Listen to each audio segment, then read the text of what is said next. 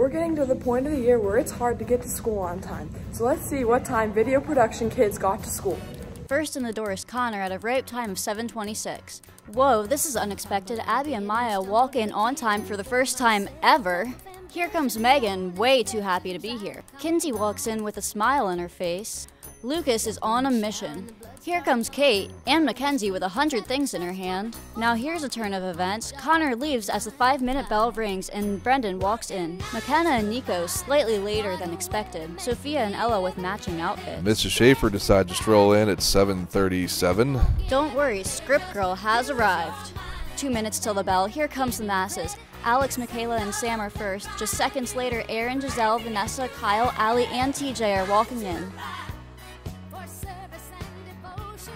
Oh, Connor returns with a donut? The final member of 4D finally shows up along with Bella and Shayla. The announcement started, but here comes Ashlyn, two minutes late as normal.